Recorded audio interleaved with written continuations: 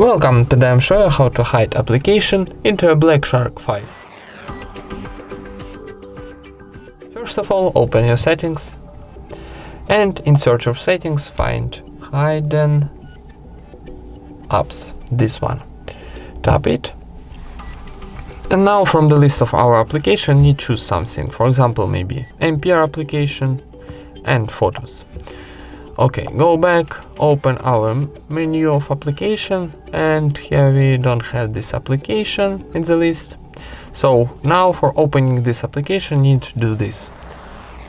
Touch and hold like this. And here we got our hidden apps. So easy, right? Thank you for watching, leave thumbs ups and subscribe to our channel.